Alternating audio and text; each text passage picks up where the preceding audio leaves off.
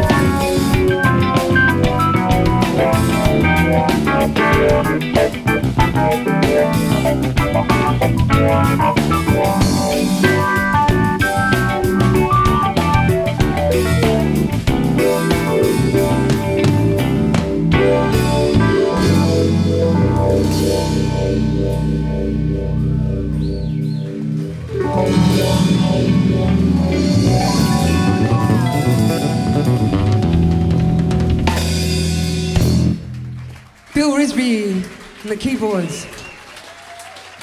Thank you so much.